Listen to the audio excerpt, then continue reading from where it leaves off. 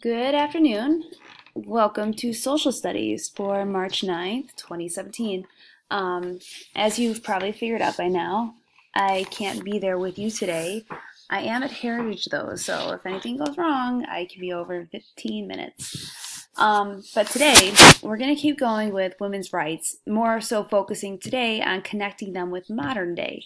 So, today we're going to focus on our objectives, which are to compare figures from the women's rights movement with present day women's rights advocates. Um, you're going to research a present day advocate for women's rights and eventually write a verse, which for most of us will look like a rap about a current women's rights advocate in rhyme. So we're going to be doing some rhyming. Okay, so let's get started with what we need to do today.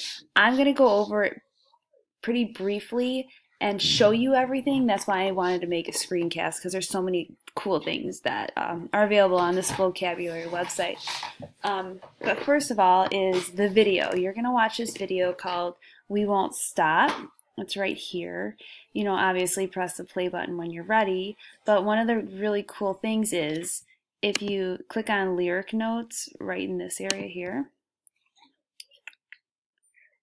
after you watch it once and you get to actually watch the video, you click lyric notes and it'll play for you.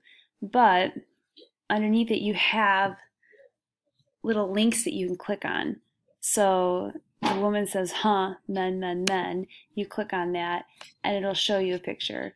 And if you go a little bit lower, the chauvinist says, tie, a tie. We're going to talk about this little declaration. Click on that and it actually tells you how did the French American revolutions inspire the fight for women's rights. So you're getting to know more about women's rights than just this song has. Uh, but what about the women? You know, turn the butter, make the clothes. So the battles of the revolution. So you get to learn more about the people, Mary Wollstonecraft and Elizabeth Stanton, um, bringing up Seneca Falls, which we just talked about in class. Uh, but that's really super cool, and I wanted you guys to see that so you're not completely lost with some of the references that the song is making. Once you've done that a couple times and you've got the people down um, from the original women's rights movement, there's two other videos here. You have May 30th, 2014 and October 17th. So this first lady is Maya Angelou and the second one is Malala, which many, many of you may have read about already. Um, I want you to watch each of them. And it's going to be the same thing. It's going to give you the video, and then you go to the lyric notes and, you know, do the same thing. What you really want to get out of this now is you want to start comparing the past activists to the current ones. So that's what we're looking for here, is making that connection from the past to the present. So you have those two videos to watch. All right, now moving on to the last step, the creation of your rap.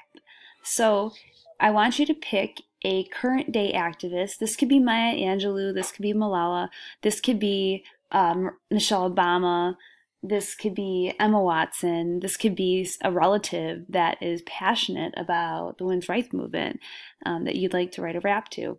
So you're going to pick um, the third website, Write Your Own Rhymes. It's third or it's titled Write Your Own Rhymes. Um, the introduction guides you through different kinds of ways to write raps and um, and things like that.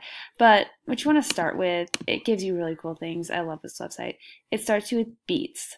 So you get to pick a beat. You can pick A sharp, a ballad. You click on it, and then it gives you. Well, that one gave you kind of like an organ. Now my daughter's trying to sing along in the background. Um, but let me turn this down a little bit. Um, don't mess with the dragon. So it gives you a real beat that you'd be writing a rap to. Um, and then you go to the basics. Once you've picked a beat, choose a topic, teach the concept model. So like, you know, how you want to go about it. memorization. Figurative language is a really, really good one if you want to um, put any of that in your your writing. You can also tell a story, um, list the important facts. This has really, really great resources to writing. So if you go to hip hop songwriting, this one takes you to the beats again. So 50 original beats here. Keep things simple, add hooks and verses, so repetition, um, things like that. So just keep in mind that um, I want your rap due when you come to school on Tuesday, meaning you need to either record yourself or record somebody with or without the beat um, performing it about a current day women's rights activist. Um, so if you haven't written your speech yet, obviously you're going to be a little bit behind. Then you owe me two recordings, a speech and a rap. So get on it. Use your time wisely in class today. Um, I have faith in you. You will do amazing things and good luck and get me some good rhymes. See you on Tuesday.